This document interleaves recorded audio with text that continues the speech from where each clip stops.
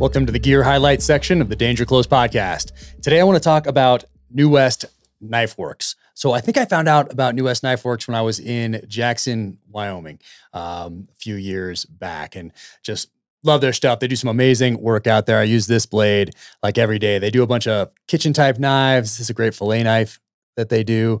Uh, they're in Jackson Hole, they're in uh, St. Helena, California, and here in Park City, Utah. So they do a lot of cool things. And if you're stopping through any of those towns, highly recommend you track them down. Um, do utensils like this. They do really cool uh, steak knives like that, different colors. Um, there's a whole set right here. But uh, the reason I wanted to talk about them today is because Leif and I on the podcast just talked about Gettysburg. And where's Gettysburg? It's in Pennsylvania.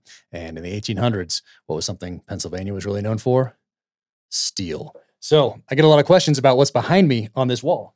And these are from New West Knife Works as well. They take old steel from the 1800s, um, pretty much from Pennsylvania, and they refurbish them and turn them into these just works of art that you can also use. But uh, you can look up the names, uh, the companies that are on these things, and you can go back and look at what uh, look at the history of those companies.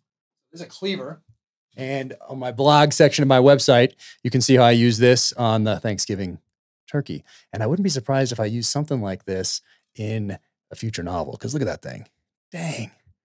That is serious. But once again, has the name of the company, and this is American refurbished steel from the 1800s. And then this guy right here, this is a hog splitter. So right there, look at that thing. Yeah, that's probably going to get used in a future novel right there. But once again, right here, golden age of American steel, Pennsylvania, right there. New West Knife Works.